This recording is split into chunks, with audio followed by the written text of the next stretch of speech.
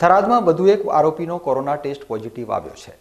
તાજેતરમાં જ વાવ તાલુકાના બાઈસર ગામના યુવકની હત્યાના ગુનામાં થરાદ પોલીસે વાવ તાલુકાના બાલુત્રી ગામના એક ઈસમની અટકાયત કરી હતી.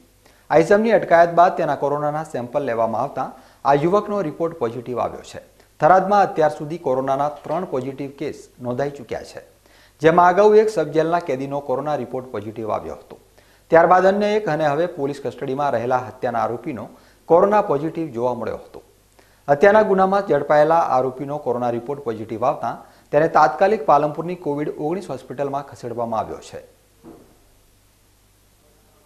થરાદમાં કોરોનાના પોઝિટિવ કેસોની સંખ્યામાં ધીમી ગતિએ થઈ રહેલા વધારાના પગલે હવે થરાદમાં પણ લોકડાઉનનો લોકો સ્વયંભૂ અમલ કરી રહ્યા છે.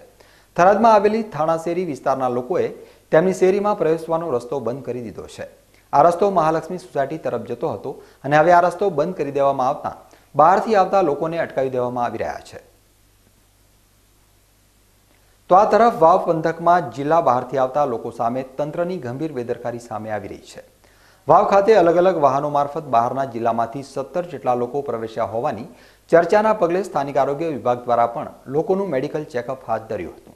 ત્યારે વાવના સ્થાનિક લોકો માંગ કરી રહ્યા છે કે બહારથી આવેલા લોકો પોતાની જાતે જ પોતાની તમામ માહિતીઓ આરોગ્ય વિભાગને આપે અને આરોગ્ય વિભાગ આવા લોકોને ક્વોરન્ટાઇન કરે જેથી વાવને કોરોનાના સંક્રમણથી બચાવી શકાય.